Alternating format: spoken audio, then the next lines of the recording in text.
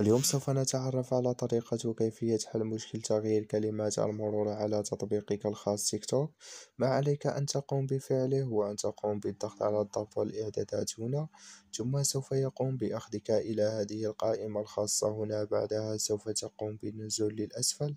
تضغط على التطبيقات نأتي إلى نافذة التطبيقات الخاص بك في هذه القائمة. بعدها سوف تقوم بالنزول إلى الأسفل هنا للبحث عن تطبيق تيك توك. سوف تقوم بالضغط هنا على تيك توك. ثم نأتي إلى نافذة معلومات التطبيق. تضغط على إيقاف إجباري تضغط على موافق. ثم سوف تقوم بالنزول للأسفل. تضغط على مكان التخزين. نأتي إلى نافذة مكان التخزين تضغط على مسح التخزين المؤقت ثم بعدها سوف تقوم بإطفاء وتشغيل الواي فاي الخاص بك لكي يقوم بتحديث التطبيق وحل المشكل. وهنا نكون قد انتهينا من هذا الفيديو.